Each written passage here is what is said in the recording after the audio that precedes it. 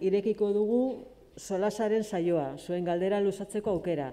Eta, Adrián, konektatuta eukiko dugu, eta lehinduko gara, Adrián, si nos escuchas, en cuanto termine Amelia su aportación, Amelia, abriremos el turno de preguntas, pero abriremos un espacio para que dugu eta tarte txiki bat ere zabalduko dugu.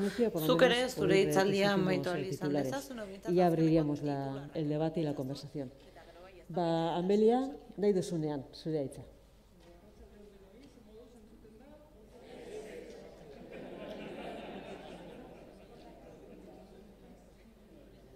Ez, ez, ez, egingo dute berek, bai.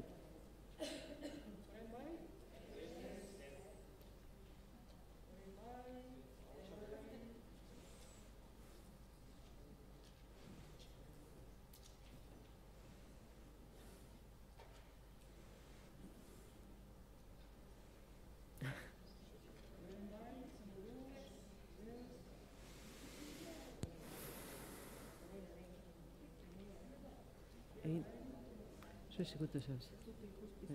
Ez.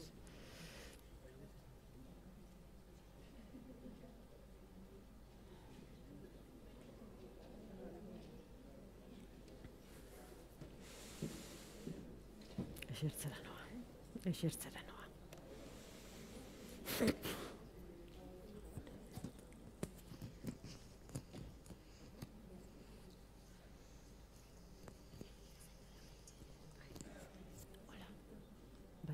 Bai, entzuten da nerea.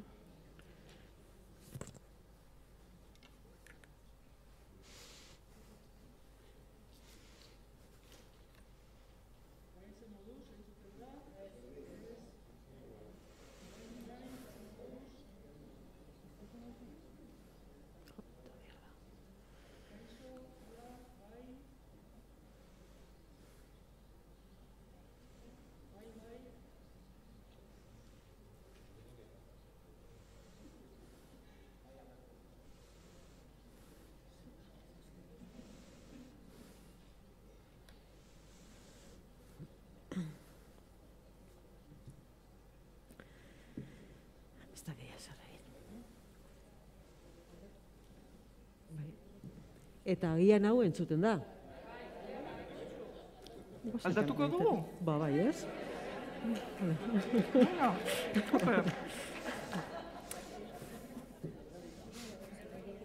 Orain bai, orain bai. Vale, ka- zuek pentsatu duzue etzela zer gertatuko, ezta? Ni hemen egonda, ba, bueno, ikusiko dugu. Venga, nik uste dut ez, dana ondo joango dela. Nik bai eskatuko nuke PowerPointa eh, zuek ikustea. Nik ikusten dut hemen, baina eh, ba, hobe pantailan denok ikusten badu.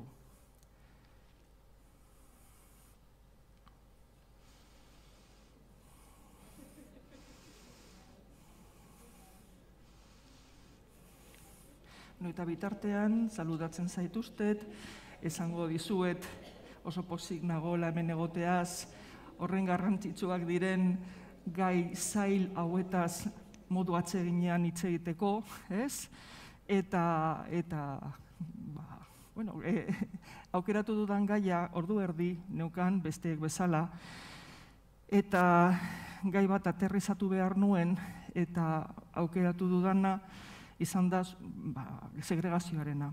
Klase eta jatorriaren, jatorriaren araberako segregazioa. Euskararen inguruan ere zerbait esan nahiko nuke, eta gogoeta batzuk e, ekarri ditut nireak direnak, e, partekatuak ere badira, eh? eta ba, lehenengo pantaila ikusiko bazenute, e, adierazten du e, ekarri dudana, ez, e, ekarri ditudan gogoetak direla mastekatzeko gogoetak, ez direla irensteko. Eh? Ondo dakizu ez, eta e, bueno, aukera izango dugu denok gero ba, hitz egiteko elkarrizketatzeko, ez elkarrizketa egiteko. E, nik jarraitu behar dut, pena daukat, e, ez da ikusten PowerPointa, eh? Bale. Ah, bai, biba, a ber, oso ondo. Bale. Ba ez, begira. Ah, klaro, egin behar dut hau. Ba, bueno, hau da, lehenengo pantalla mastekatzeko dela eta ez irentzteko. Ondo da.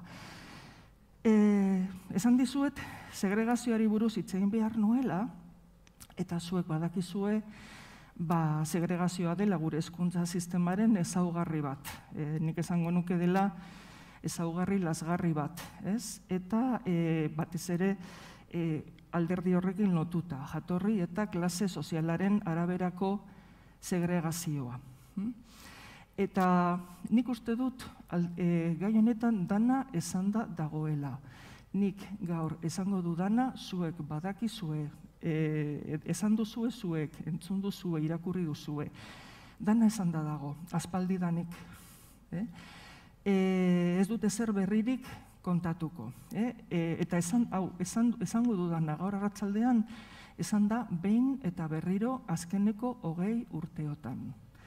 Eta behira, egin dira diagnostikoak, markoak, irizpide eta neurrien zerrendak, evidentziak ere aipatu ditu Adrianek eta hoiek ere jaso ditugu, eta nondik etorri zaizkigu gure sistemaren inguruko informazio eta produkzio hau guztia, ez? Etorri da Euskadiko Eskola Kontseilutik egiten dituen txostenetik, ICIBik e, ekoizten dituen informatatik, e, eskuntza zaileko planak ikasle etorkinen inguruan, lau plan izan ditugu jada, e, erartekoak gai honen inguruan esan ditu gauzak.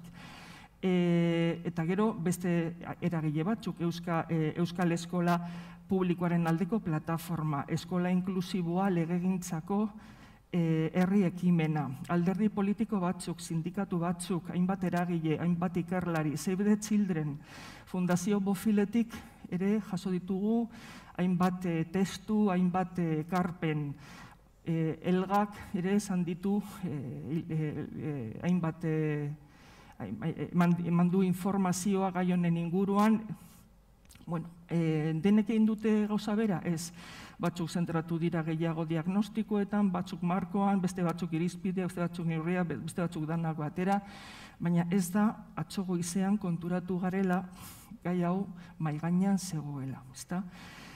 Baina, bueno, badirudi, badirudi heldu behar diogula, eh, heldu behar diogula.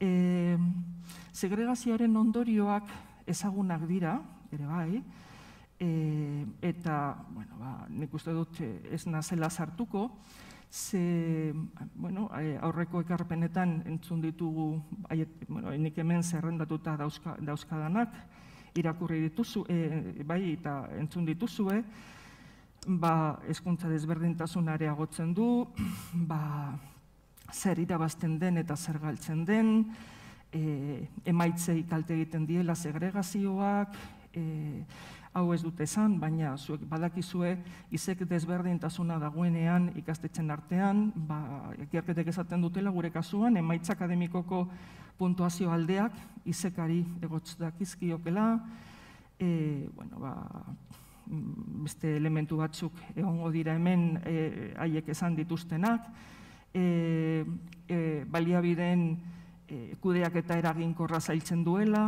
ba, kostuak, ez, konpentsazio politiketatik etorritako kostuak handiak direla, e, irakasleen irakaskuntza baldintzetan desberdintasuna eragiten du, hori ez da gertu, baina esan daiteke ere bai.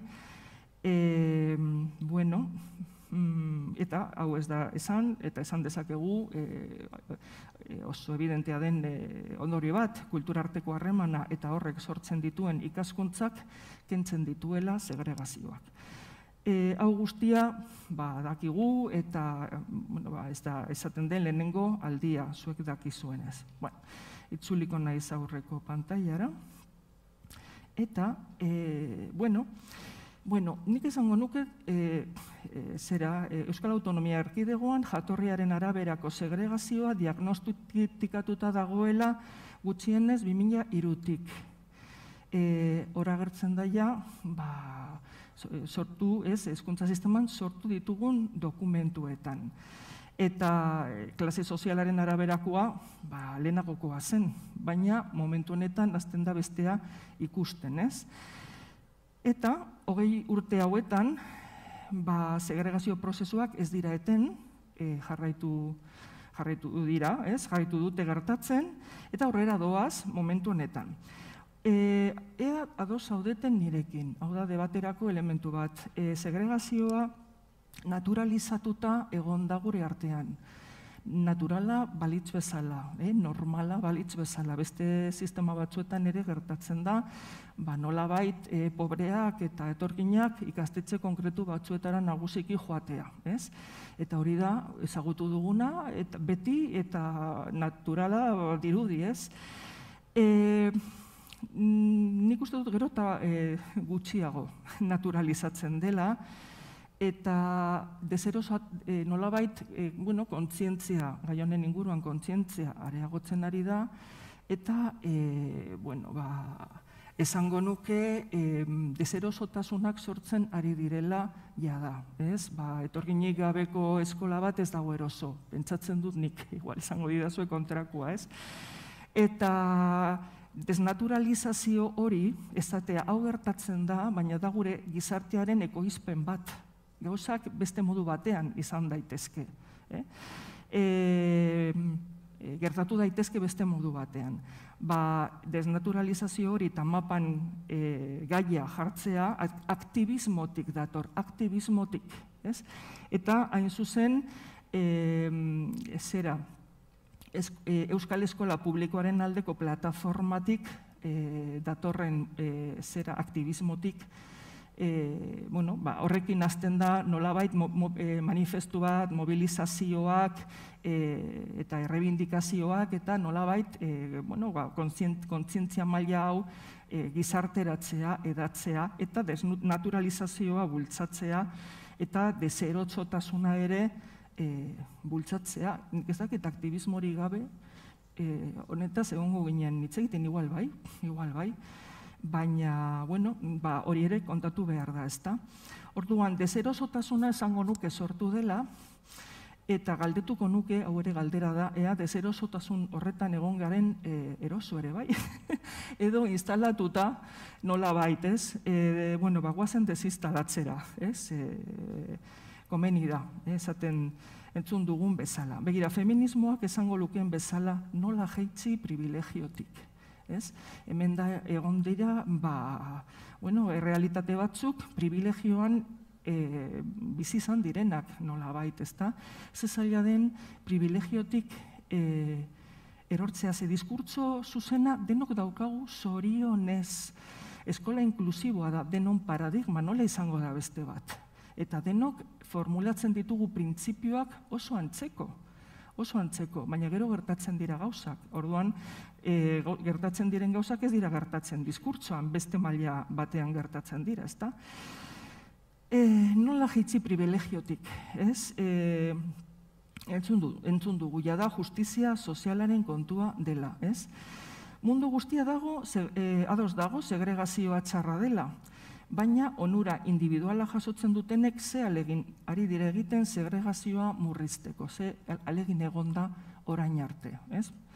E, bueno, ba, hau da, ez irakurketa hau beste arlo batzuetan ere ikusten dugu eta feminismotik ekartzen du agar, ba, diskurtsoan bai, ez? E, gizonek ere egiten dute diskurtso feminista, baina gero ze gertatzen da, e, norberaren bizitzan, ez? Hori nola gauzatzen dago zen, ja, ba, diskurtsotatik ba, arago joatera, ez guazen errealitatera. E, bai, bueno, zer esango nuke gehiago. Begira, nola heldu gara onaino, eh? eta ikusten duzuenez, hau da nire, e, nire e, narrazioa, eta, eta debaterako, eh? dana. Ez? Izenekin bueltaka ibili gara, eh? E, getoa bai, getoa ez, gogoratuko zaret, esan daiteke geto, ezin da esan, ez dakiz zer, badakin orain batzuk esaten, az, aditu batzuk esaten ari dira, oso tranquil, eh? Etorkina, zer da etorkina, zer ez den etorkina, e, segregaz, bueno, duela bosturte etorri zen segregazio hitza, eta batzuk zaude, ez ezin da segregazio itxusia da, bueno, itxusia da errealitatea. Aber, e, hitzetik arago, e, pasatzen garen. Bueno, orain Katalunian erabiltzen dute segregazio eta guk ere bai. Bueno, ba, behintzat badauka izena, gertatzen zaiguna, ze batzutan ez da izena ere, ez da? Bueno, konzentrazioak esan dugu, getoak itxusiak zirelako, eta... Bueno, nola heldu gara onaino? Ba, ez dakite, aber zuek zer pentsatzen duzuen, itxutasuna egon dela, ez? E, ba, eskuntza sisteman batzuk ez dute ikusi hau, ez dute ikusi, ez dute ikusi, ez dute paitu nahi, negazionismoa ere egon da, esatea ez, hau ez da arazo bat, hau ez da gertatzen, ez? Ez da gertatzen. Iku, e, nolabait e, ikusten genuen aukatzea, ez? Hemen da egon da terraplanismoa ere bai, eta, bueno, ba, ba, badirudi urren, ja, bagode, pasatzen ari garela ja beste fase batera. Ez da horren besterako. Ez, urrengo belaunaldietan hobeto ibiliko gara, eh? Hau da, e, horrelako diskurtsoak, ez? Pasako gara urrengo, e, urrengo belaunaldietan integratuko dira, eta bar. Beste diskurtsoa, zuek ere bai, beste zarean, zarean ere ikastetxe askotan gertatzen da hau, eta ba, ezagutza ditut adibide hau eta hau eta, eta hau, non beste zarean ere gertatzen den hau. Bueno, badaude herri batzuk non, ez? E, bueno, bale, egia da, egia da, e, jakinda ere, e, zera, e, segregazioaren ardatzen nagusia dela sistema duala, ez? Ba, gero, zare bakoitzean, aurkitu ditzakegula e, ikastetxe batzuk, eta publikoan badaude batzuk etorkin gutxi edo bat ere e, etorkin gabe, eta kontzertatuetan eskola batzuk ba, asko implikatzen direnak, eta ez, eta hor, e, ba, eta beste batzuk ez. Baina ardatza hor dago, eta gure, e, ikusiko duzue, gure testuek esango dute. Debaterako dana. E, segregazio er, erresidentzialari ere e, egotzi zaio erantzunkizuna. Errua da segregazio erresidentziala. Eta egia da, e, faktore bat izan daitekela, baina ez da, faktore nagusia gure errealitatean. Gazteizen dago segregazio potoloa, eta ez dago e, zera mm, auzo bat non e, etorkinak diren populazioaren euneko gehia baino gehiago. Eta orduan ze gertatzen da eskola batean ikasle guztiak direnean etorkinak. Orduan, e, badago, e, eguneko gehia izatea, ba, konsideratu dezakegu zuela, segregazio residentziala, ez residentziala, baina eskola segregazio da beti asko zaundiagoa. Orduan, E, bueno, hori biligara, administrazioaren arlo batzuen ardura ipatzea, eskolatze batzordetik etorri behar zaizkigula ikasleak eta ez zaizkigu etortzen, bueno, ba, hor daude ere, bat, matrikulazio epe arruntak, ez, ba, erakarri behar ditugu ikasle horiek. E, bueno, hori tratatzeko garaia heldu, e, helduko dela etorkizunean, lege berria etortzen denean tratatuko dugu lagai hau, hau entzun dugu, e, pues orain ez da momentua, ez? E, pues ez dakite, ba, legegintzako herri ekimena aipatu dudanean, at, ba, legebiltzarrak etzuenean onartu, esan zuten, bueno, e, ja tratatuko da, ez lege berri ateratzen denean, horreta, ba, pasatu dira hiru urte. E, ez, beti, ba, a ber, ez, a ber, e, paper egintzan aritzea.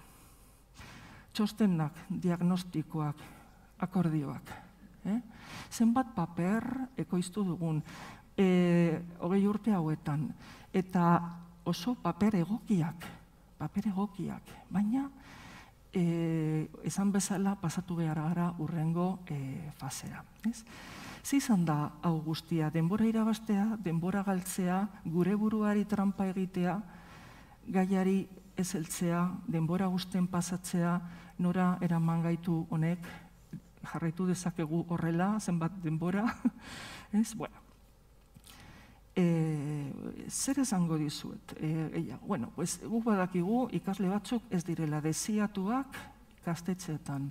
Etor ginen zemealabak ez direla ikasle desiatuak, tristia esatea, baina e, eta, eta ondo hartu dira, eta hartu dira batez ere ikasleri gabe, hasieran ikasleri gabe gelditzen ari ziren eskoletan, eta gero ba, oso ondo hartu ditugu eta hezkuntza sistemak egin dio aurre e, immigrazioaren erronkari. Erronka soziala, edukatiboa, linguistikoa, kulturala, eh?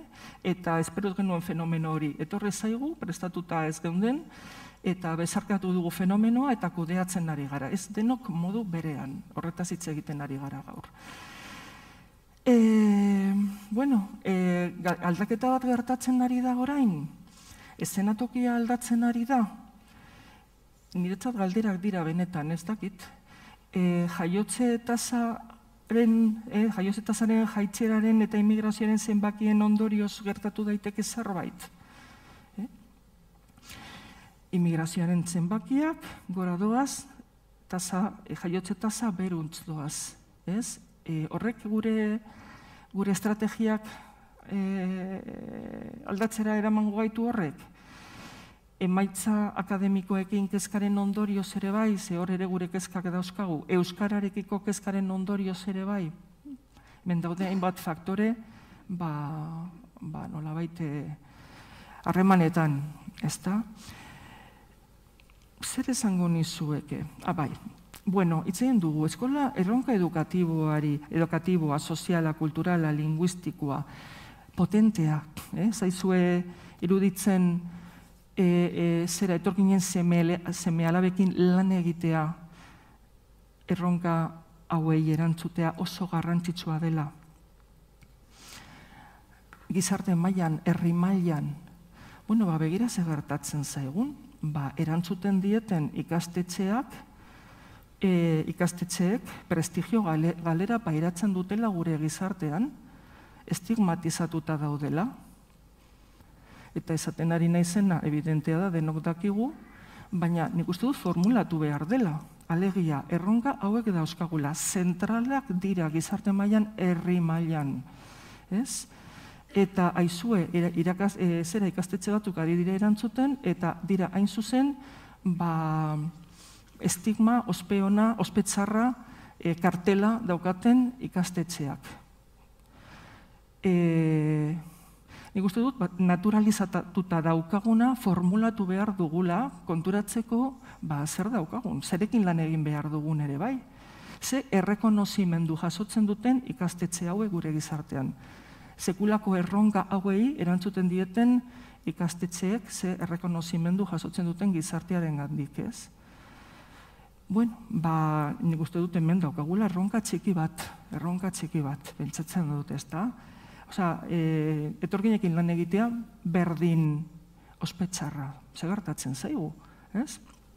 Bueno, e, bueno, esku hartzea, begira, ez da ezer ez denik egin, noski, gauza asko egin dira. Eta bat, biti mentziotan, ez? E, ikastetxe segregatuetan baliabideak jarri dira, jartzea, hori e, horri Ferrari eta Gortazarrek urte honetan atera zuten e, artikulu nolabait entzutetsu, ez ez, oi hartzuna izan duen artikulu horretan, horrei deitzen diote ikuspegi konpentsatzailea, ez? Hau da daukagun egoera eta ba, ikastetxe batzuk behar dituzte errekurtso gehiago, ez? Eta gero dago beste dimentsioa, desegregazioa bultzatzea, desegregazioa bultzatzea eta ferreta gortazarrak esango lukete hau dela ikuspegi preventiboa edo eraldatzailea nahi baduzuen. Nik esango nuke bonalek aipatu duenean e, politikaz estrukturales i fokalizadas, ba, fokalizadas dira ba, baliabidea jartzea eta estrukturales dira desegregazioa bultzatzea. Nik esango nuke administrazioa lehenengoan aritu dela nagusiki orain arte. E? Eta bigarrenak, bigarrenean ez da e, aritu, edo gutxi aritu da, eta demostrazioa da daukagun egoera. Nik ikastetxe bakar bat ezagutzen dut desegregatu den azken urte, e, hogei urteotan e, Euskal Autonomia Arkidegoan, bat. Eta orduan, e, claro, ez, bigarrenak ukitzen du e, sistemaren izaera duala ez? Eta horria sartzen da doakotasunaren gai arantzatsua. Ez? Orduan hori gelditu da, gelditu da, ez? Unea da eta igual e, galdera moduan e, formulatuko dut. Unea da erabakitzeko ea bigarrenari helduko diogun gizarte moduan, herri moduan eta noraino edo bakar lehenengoarekin jarraituko dugu. Ez? Noraino ekingo diogun bueno, ba, sistema hau eraldatzeari, ez, segregazioa, ea segregazioa dezer, dezagerrarazi nahi dugun, edo bakarrik, e, zera, ez, esku hartu ikastetxe segregatuetan. Hmm? Nik uste du niri nabaritzen zaidala zer nahiagoko nukeen, ez da?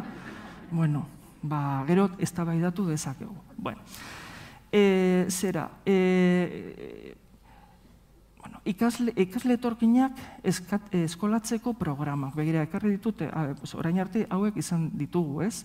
E, ze, eskuntza zailean sortu direnak, ez?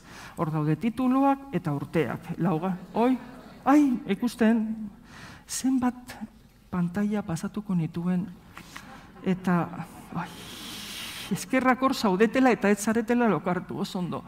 Oso ondo, a ber,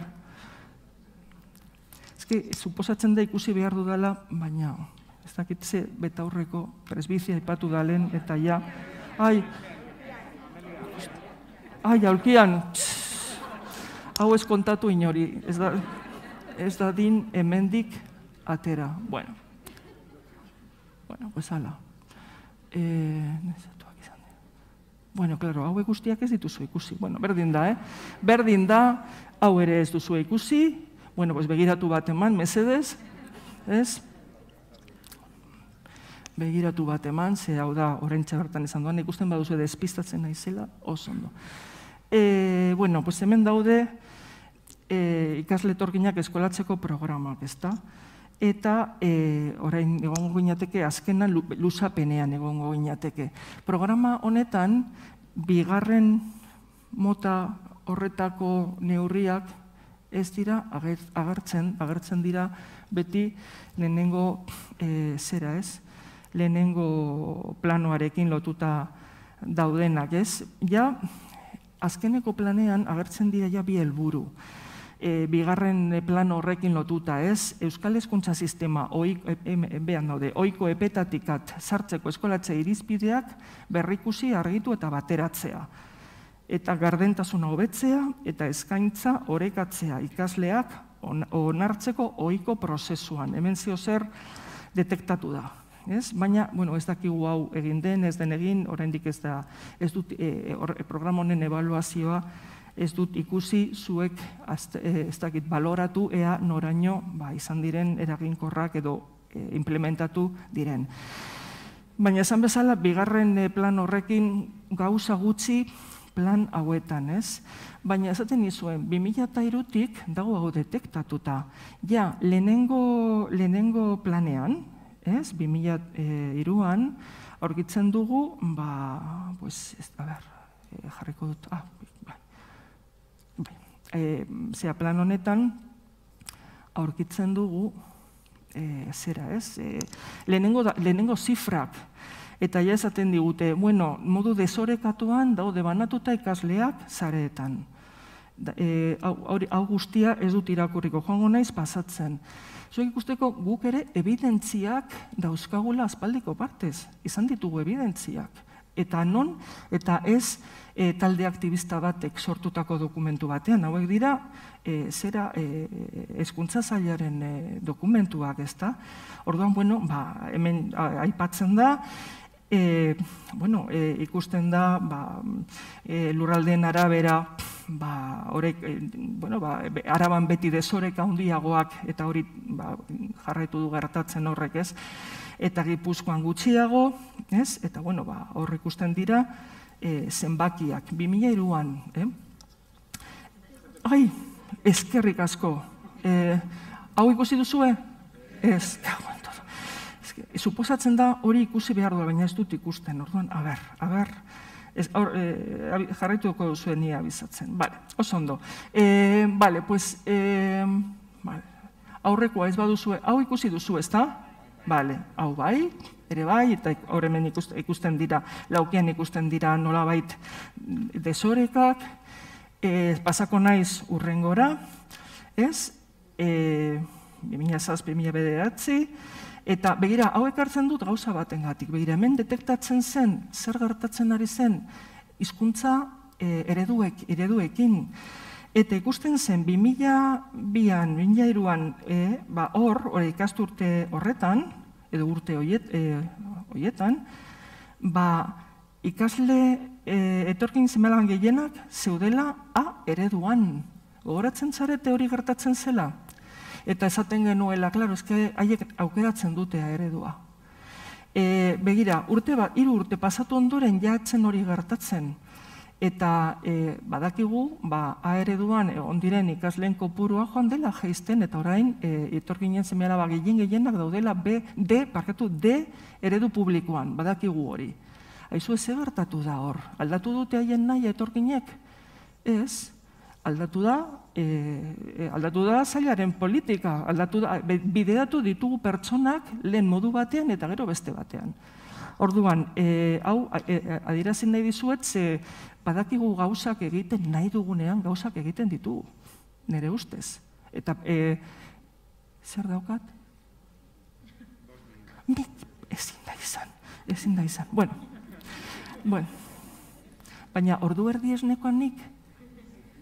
Bai, bale. Bueno, bueno jarraituko dute, bueno, hemen txostenak, txostenak e, ekarri alditut, e, ez daukat astirik orain erakusteko, baina bueno, nahi du nuena zen erakustea honetaz izan da, e, e, jakin dugula zerbait. Eh? Eta tontsu kanpose garai baten esan zuen nahi zu, e, ui, ikusten, bai, parkatu, eh? Bueno, hemen daude dokumentu batzuk, pues orain erakutsiko dituen, baina bueno, evidentziak ditugula, ezta? Eta hau, ekarri nahi nuen, ba, e, garai horretan, 2000 zazpian duela amalau urte, amalau, tontxu kanposek esaten zuen ba, e, gaiari eman behar zitzaiola erantzuna, eta arartekoak ere bai esaten zuen hori. Eta handi gutxira Euskadiko Parlamentuak legebiltzarrak esaten zuen nahi kontuz kopuruekin, kontuz kopuruekin, horrik kasurik etzaio, e, etzaio egin. E, bueno, eta e, baldin bagoaz, e, Euskadiko Hezkuntza Sistemaren egoerari buruzko txostena, Euskadiko Eskola Kontseilua, ez, azkeneko txostena, ba, hor ere, ba, badakizue datu batzuk aurkituko ditugula, ez, eta lauki esanguratsuak, azaltzen digutenak, e, atzer, e, bueno, ba, e, atzerriko ikasleak jartzen, hor jartzen duena, pues, jarraitzen duela, segregazioa, eta, bueno, ba, zeintzuk diren segregazioaren kopuruak. Eta baita ere, ba, pobreak nola dauden banatuta, hor daude ikasle bekadunak, eta hor laukiak daude e, azkeneko txostenean, azkeneko txostenean. Orduan, materiala badaukagu, eta izan dugu. Bueno, eta esango nuke, eta bueno, gero hau etorri zaigu e, kolpe baten moduan duela gutxi, baina dira, dira gure datuak, fuente, ez, hau da, zera, e, hau izan da, e, zera, e, Silvan eta Mirakleren e, txostena, ernaz e, e, lusatuko, baina ikusten da, zegartatzen den izekarekin, e, geruza bakoitzean, eta dira, fuente, Consejo Escolar de Euskadi, a partir de izei ibei. Odea, dira, guk, ai, dira, guk sortutako datuak, dira, dena guk hezkuntza zailean. Eta, a ber, Ja, a ber. Hau da, erakutsi nahi nizuena. Bale, oso ondo. Bale, eta hemen daude, otxosten horretan agertzen diren edatuak, eta hemen non dauden ikasleak. Ez? E, batean, bestean, bueno, gutxi gora bera ikusten duzu, ikusten dut ezin dudala, ezin naizela luzatu orain. Bueno, eta gero, e, Álvaro Ferrer eta Lukas Gortazar etorri dira esatera, hemen e, pairatzen dugun segregazioa dela, e, oso potentea. Eta e, azkeneko artikulu horretan lehen aipatu dudana, hor dauzkazue, hitz batzuk eta ba, ez ditut irakurriko. E, baina e, bai, eragutzi nahi dizuet, e, oso dokumentu potenteetan e, anitzen artean ekoiztuak e, hitz egin dela honetaz. Eta adibidez, hemen daukagu, migraziorako euskal itun soziala, non gai honeta segregazioaz hitz egiten den oso modu egokian. Duela bi urte Urkullu lendakariak plazaratu zuen modu publikoan, oso modu formalean. Eta esaten dena da segregazio arazo badagoela eta heldu behar diogula. Ez? Testu hau idatzi zen duela amaik, amar urte. Naiz eta plazaratu den duela bi urte. Eh? Historia polita dauka dokumentu honek. Duela amar urte idatzi zenak balio du gaur ere bai e, hau badakizue duela hiru urte, bi e, egin zen dokumentu bat, ez, eusko e, zera, eskuntza zailak bultzatua, e, eskuntzaren aldeko akordioa, puntu batzuk zituela, e, gaionen inguruan ere, hitz egin zen, testu e, horretan, eta e, bueno, eragile desberdinek, ez, e, askotarikoek egindako dokumentua. E, hau ekarri nahi dut, e, begira, e, zuek ikusteko mm, zera, mm, elementu garrantzitsu bat. Gazteizen gaude, gazteizen duela zei urte plazaratu zen e, dokumentu hau. Zer gertatu zen? Ba, e, bueno, ba, udaletxean, udalean, mm, bueno, e, horre mozio bat onartu zen, segregazioari heltzeko premia e, premiari heltzen ziona. Eta e, mai, mai bat osatu behar zela, diagnostikoa egiteko gazte izan gertatzen zen, eta e, neurriak jartzeko, neurriak proposatzeko eta martxan jartzeko.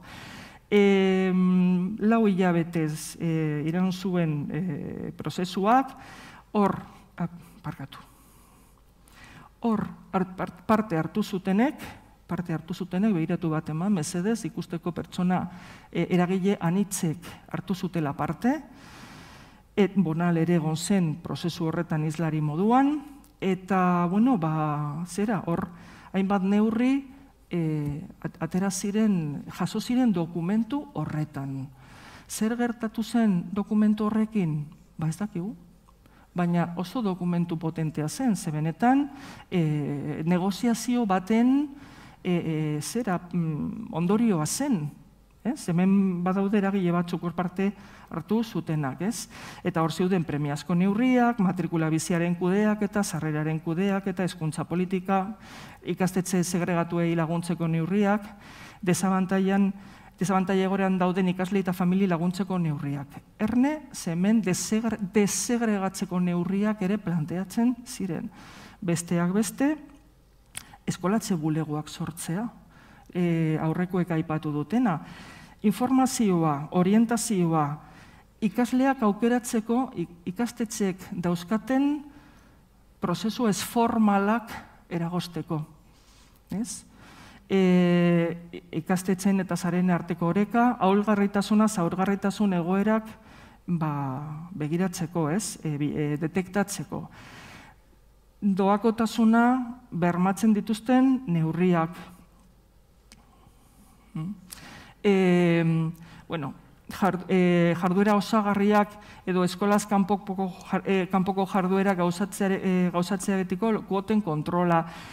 Ezkuntzako ikuskaritzak gauzatu beharreko kontrol neurriak, bueno, hemen dago, e, daude hainbat neurri pena da, zenik hau guztia kontatuko nizkizu, nizueke, ba, zuek ikusteko zelan egin zen, noraino heldu ziren proposamenak, eh, joango naiz pasatzen, e, noraino heldu zen, heldu ziren proposamenak, eta, bueno, ba, hor, e, hor gelditu ziren, mm, ez dugu gehiago jakin. Hau da, zuek ere ikusteko performance batzuk gertatu direla da. Eta hau serio esaten dut, e, jo, egon garela prozesu partekatuetan hartu dugula parte, eh? eta dokumentu edarrak ekoiztu ditugula. Ur, e, gure erronka ez da dokumento edarrak ekoiztea ja da. Da, urrengo fasera pasatzea. Matrikula biziaren kudeak eta e, nola, nola jokatu matrikula biziarekin. E, bui, perkatu joango naiz pasatzen, ez, ba, e, zera, e, bueno, pues ikusten duzu ez, e, e, e, azpemarratuak nireak dira, eta joan gozarete ikusten hor, e, apur bat, zer gertatzen, zer gertatzen den, ezta? Bai. E, bueno, e, orain ja, bukatu zai denbora. Bueno, vale. E, beste testu batzuk, ba, emaizkidazu mm, hogei segundu, bo, e, zeo zer bukatu, e, hau bukatu emateko. Bueno, joango nahi zau ikusten ze, biak aldi berean ezin izango dut. Bueno, e, hemen ikusten dut PowerPointa, e, hemen ikusten duzuena. Euskal Eskola Publikoaren aldeko plataformak hainbat neurri proposatu zituen. Hau ez da egile askotariko egindako elementu bat, e, e, dokumentu bat, hau badaukagu ere bai. Euskal Hezkuntza Sisteman kohesioa eta berdintasuna hobetzeko herri ekimen legegilea legebiltzarrean aurkeztu zena. Eta hor partiduek esan zuten, ez ez, e, ba, EH Bildu Podemosek enduta, esan zuten, etzela momentua. Horretaz hitz egiteko, naiz eta amar mila sinadura baino gehiago eraman zituzten, ez, herritarron e, e, sinadurak. Bueno, e, hauek, badauzkate neurri interesgarri batzuk, eh? hor daude, hor daude beltzingoz markatuta. Gero, EH Bilduk dauka beste dokumentu bat, eta gauza konkretuen artean dago, ba, adibidez, e, tokiko mailak eta eskolatzeko udalbolegoak neurri batzuk derrepikatzen dira dokumentu guztietan. E, eta bukatzeko, bueno, murillok esaten diguna ekarri nahi dut, ez? E, Javier Murillok, Cintia Martínez Garrido, bonaleak esan duena, no seamos inocentes, con la segregación. La segregación no es un efecto colateral indeseado producto de inocentes políticas educativas. La segregación escolar es un acto de opresión. Es un acto de opresión. Eh, para, eh, por el cual unos grupos oprimen a otros impidiéndoles una, recibir una enseñanza de calidad. Horren kontzientzia atu behar dugu. Murillo eta Martínez Garrido dira pertsona ikerlariak eta adituak gai honetan. Ez dira, ez dira, ez, da, ez, ez ditugu zailketu bera aktivista moduan, ez dakit diren, ez dire, baina dira ikerlariak. Eta azkena, aizue, ez dugu pentsatu behar, marko berri batek eramango gaituela berez dessegregaziora. Ez dago ezer daukagun marko legalean nire ustez segregaziora eramaten duenik ez dago lotuta dokumentu bat, esan daukagun marko juridikoak ez du ere zen amaten segregaziora, izan dira gure politikak, izan dira gure politikak. Gauza asko egin alziren eta ez dira egin, borontate politikoa da gakoa, borontate politikoa. Ez paper, paperak, eta klar hori da, hemendik aurrera espero duguna, eskuntza sisteman, ez paper eh, majuak, baizik eta ekintzak, ez? E, ez, e, hori da, ez dokumentuen kalitatea, ez da, nahi duguna da, e, ikusi nahi dugu zerbait, ez? Eta bukatzeko, demagun benetan adosten dugula, segregazioa bidare, bideratzea benetan adosten dugula gure buruari tramparik egin gabe, ez? Demagun. Gogoratu dezagun ez garela leku beretik abiatzen, ez? Bakoitzak dauka bere, bere, bere iragana, ez? Eta privilegio goeratik etortzea, ez da opresio goeratik etortzea bezala, ez? E, erronka izango da, parkatu esatea, baina pikarezka ezagutzen dugu, ez? Pikarezkari buelta ematiagun batetik bestera ez dugu egiten. Aizue, legeak esaten du ikastetzeak izan behar direla doakoak. Legeak esaten du eta saltatu egin dugu. Ez, bai, e, bueno, e, ez dakite, oso e, gauza interesgarria, e, debatitzeko nik hau ekartzen dut, ba, ba ez pare. ¿eh? En ningún caso podrán los centros públicos o privados concertados percibir cantidades de las familias por recibir enseñanzas de carácter gratuito. Eta beste gauza batzuk hor ditugunak, orduan daukagun markoak ez gaitu eramaten segregaziora.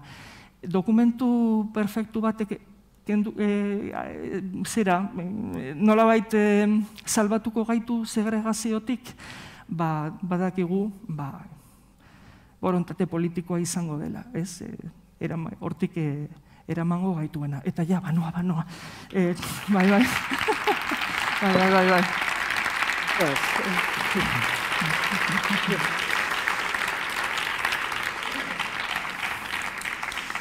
Ez, ez senyora, orain, espero du biak entzutea. Entzuten da nire?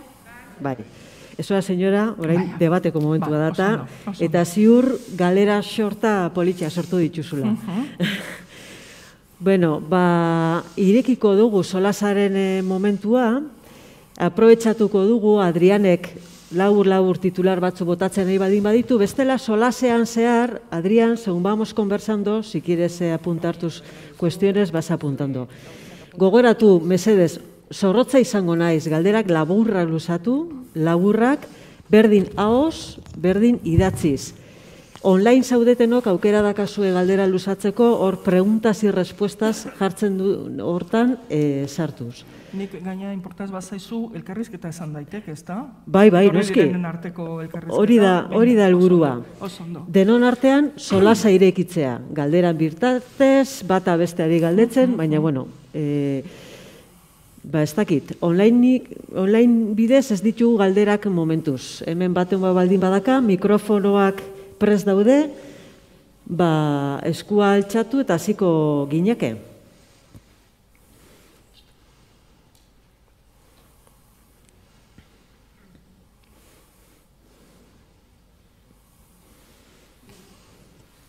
Se me oye, que es como la pregunta clave para empezar a hablar. ¿eh? ¿Se me oye? ¿Sí? Eh, bueno, en primer lugar, eh, me presento. Yo soy Se oye un poquito bajito. Bajo en tutela. informe del que ha hablado Amelia. Ni Amelia. Eh, bueno, llevo muchos años trabajando el tema de la segregación. Anteriormente como mi responsabilidad en Save the Children. Y yo lo primero que tengo que decir es que me alegra muchísimo que este foro se esté dando con esta naturalidad y con esta apertura, ¿no? Un poco de...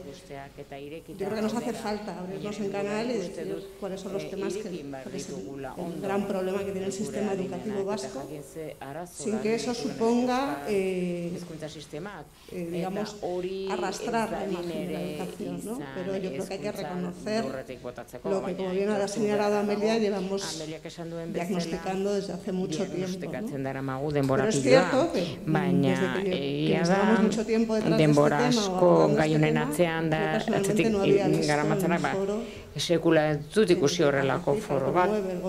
Esku jalaritzak sustatuan eta horren beste denbora eskaintzea segregazioari eta horren besteko kalitatezko eh, interbentzioak entzutea gai horren inguruan eh, eskola segregazioaren arloan.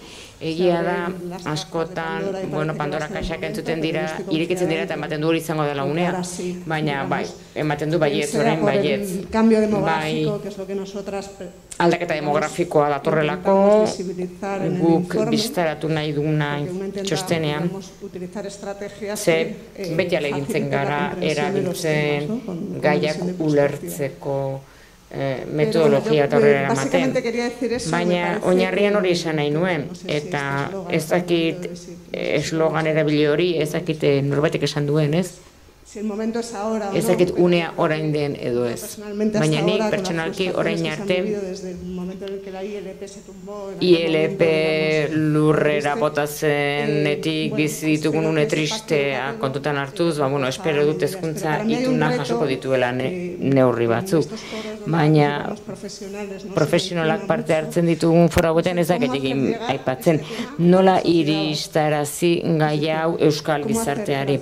Hau da, nola egin euskal herritarrak libreki hautatzen dituenak bere semelabak matrikulatzeko ikastetxeak gure dezaten gai hau duen garrantzi guztiarekin. Uste dut hau kontzientziazio gai badela, sentiberatzea bultzatzeko gaia, eta gainera eskaintza eren plangintza egiteko nik uste dut hemen hezkuntza sistemak asko duela egiteko, eta Xabier Bonaleko zondo azaldu du, gainera, besterik gabe ez dakit, e, nik eskertuko nuke bintzat itzartzeak laburrak izatea, mesedez, ez? Izate itzartzeak eta galderak. Ordua dugu, ordua bete dugu, nahi baduzue, pixka lusatzen dugu, eta ez da bida e, dugu, baina berez, ordua bete dugu, ja, zazpia dia. Baina, ez dakit, ema, guazen ematera tartetxo bat, bos minutuko galderak tartea. E, online, heldu da bat, heldu da bat bi daude. Bat oso zehatza. Zeintzuk dira dessegragazioerako bide posibleak. No sé si eh, Xavier, Adrián. Xavier, Adrián, ¿Cuáles son los posibles medios, caminos para la desegregación? No sé si quiere ¿Está No. Hoy me parece que no. Nos están diciendo que vamos a tener que debatir otro día. Ez da, bestela Amelia, nahi baduzuzuk, zentzu dian desagresoireko bideak. Bueno, hori izan da, nire ustez, e, mm. bueno, edo, ekarri nahi nuen e, zera ez, e, nola, e, ba, Euskal Gizartean bilatu ditugu, proposatu diren, proposatu dira mhm. hainbat e, bide, hainbat neurri ez, eta ez dia bat, ez bi, izan behar dira, ba, asko, er, eta hor e, bulego horiek aipatu ditugu, baina baita ere prozesu informalak e, e, e, bueno, e, kontrolatzea, ez, doakotasuna, mm. argi dago, eta, bueno, ez naz luzatu nahi, eh? igual bai. nahiago dut jendeak etxe egiten badu. Bai. Eh, a, a ber, ez dakiti Adrian entzuten da bilen, edo ez, berantzako galdera bat zan. Bueno, en fin, por, si me oye. Eh, a ver, Adrián, eh, en su accidentada intervención, ha mencionado una frase que es la provisión de la educación por agentes privados subvencionados y la existencia de una red dual produce en todas partes tensiones de equidad y desigualdad. Eh, Colán, o sea, así las cosas, perdón, eh, claro, vivimos en la sociedad que vivimos, una sociedad capitalista, con eh, libre mercado, libertad de empresa, etcétera, etcétera. Entonces, mm, se deduce que tenemos que acostumbrarnos a vivir o a convivir, lo mismo que con el virus del COVID, de la COVID, con las tensiones y la inequidad y desigualdad que provocan la existencia de esa red dual? Esa sería la pregunta para Adrián, no sé si está escuchando. Parece que escucharnos escucha, pero no lo oímos a él. Sí, no, no, ¿Se nos oye? Y a Xavier tampoco le escuchamos. No se nos oye, ¿verdad?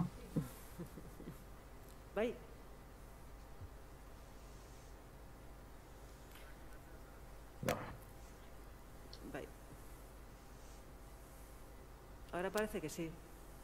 En, ematen du baietz, bai, hor zaude, bai, ederki. Bueno, saiatuko naiz, ez, eh, azken galdera entzun dut, zuzeneagoa ere gonda uste dut beste batean aipatu duzuela nire izena, baina azken galderari dagokionez, ea, oitu egin behar dugun honekin bizitzen, Nik uste dut hezkuntza politika guztietan ulertu behar dugu ez dela beti eh, etekengarria eta denak duela bere etekin eta bere kostua eta hau hainbat hezkuntza politiketan ikus dezakegu. Eh, sarbidea beteta dagoenean derrigorrezko etapetan ba izango di behar dugu politika banatzaileak batzuk irabazten dute beste batzuk galdu egiten dute. Eta nik planteatzen nuena zen planteatu daiteke itunpekoaren eztabaida etekinen ikuspegitik. Hau da, probizio pribatu bat izatea edo probizio anitzagoa izatea erregile pribatuekin. Eta nik uste dut Euskal Herrian hori begibistakoa dela adibidez ikastolen kasuarekin, edo seguren ez beste hezkuntza eskentze batekin eta Katalunian begistan dago ere ala dela. Baina eskaintza askotariko bat izateak duen etekina, hor dago, baina tensioa sor, daiteke ekitate hauzean, ze te, tensioa dagoenean, ez bakarrik ezkuntzan, beste batzuetan beti e, merkatuaren sedimentazioa eta estratifikazioa gertatzen dela, nik uste dut, pentsatu behar dugula ze horreka bilatu nahi dugun, ze horreka behar dugun eta zein den helburua eta zer rol jokatu behar duen itunpekoak. Eta nik uste dut e, e, aurreko hitzaldia entzun da ulertzen dut Euskal Herrian ere ez dela kontutan hartu eta Katalunian ez da kontutan hartu eta gainerako Espainian ere ez. Beraz, nik uste dut hemen hauzia dela pentsatzea ea itunpekoa jokatu behar duen rolak merezi duen, kontutan hartu duen kostuak, baina beste duzien hezkuntza politikan tan bezala.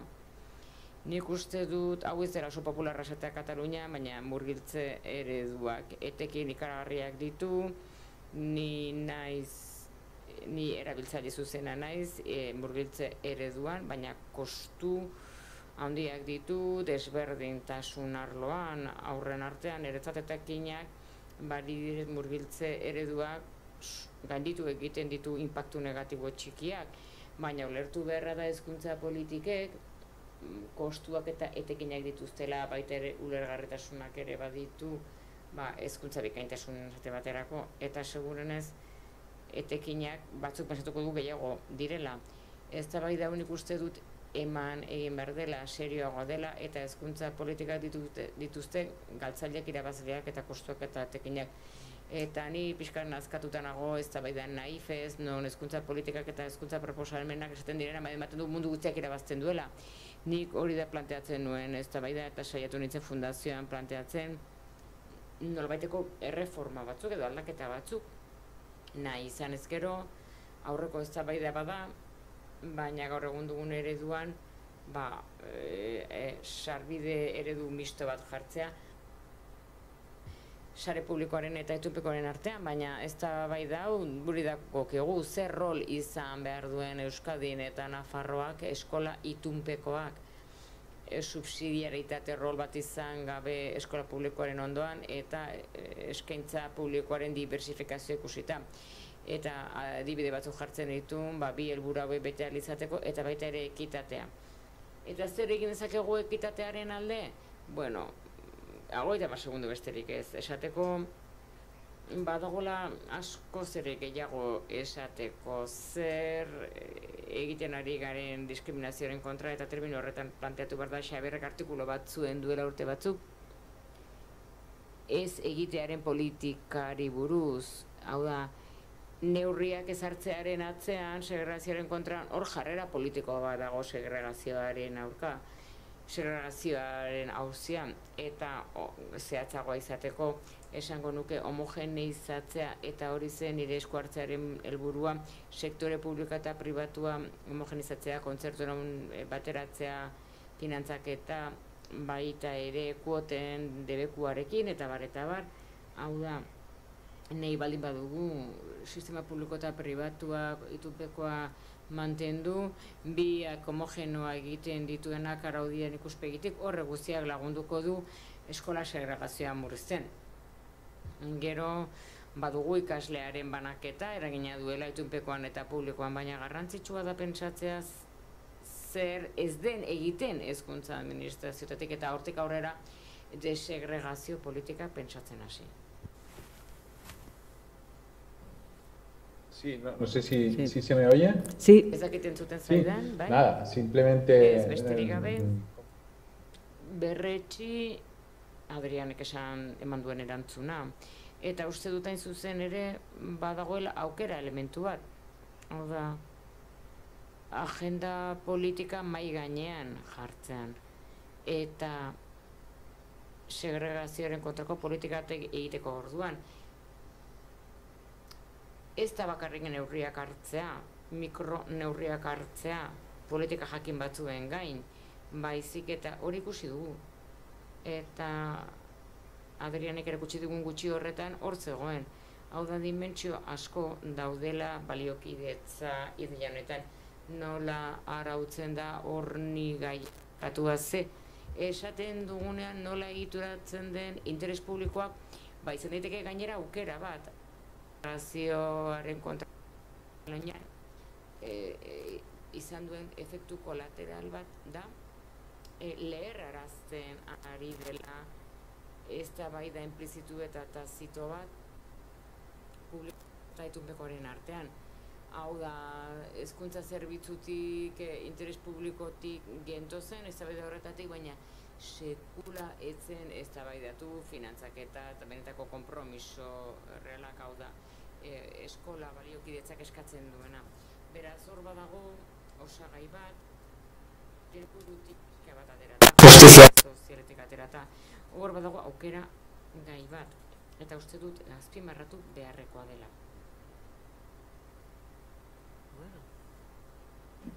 Baten batek zerbait esateko, beste leitxire emango genuke.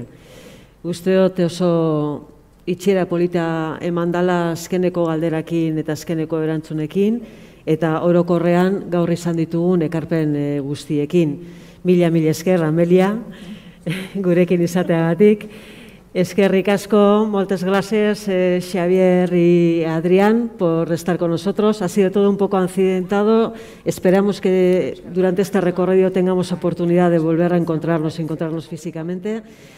Ariketa gelditu zaigu pendiente, mentime terrori, baina gian biarra egiten dugu. Beldurre ematen dit berriz e, teknikoki zerbait mugitzea. Eta agian, e, hobe gaur gelditzen bagara azkeneko hitzekin, eta badakagu zer hausnartzeko, eta bihar berri zelduko diogu e, saioari. Biharko egunean, e, eskuntzaren antolamendua, eta eskuntza ezagutzaren gizartean, horren inguruan hausnartuko dugu. Eta agian, azten dugu, gaurkoaz ez ahazteko, ariketa txorrekin, ba, pixka bidea egiteko. Ikusiko dugu. Bederatzi terdietan, hemen. Ba, mila, mila esker, berriz ere, Amelia eskerrik asko, Adrian, Xavier, eta guztioi.